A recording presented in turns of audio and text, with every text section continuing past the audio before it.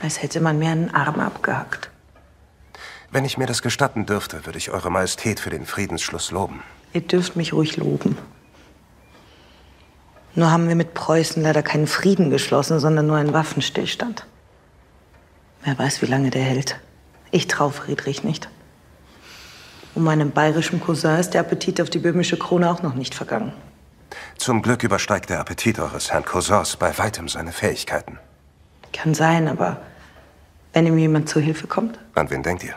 an die Franzosen. Die haben doch keinen Grund. Euer Wort in Gottes Ohr, Kinski.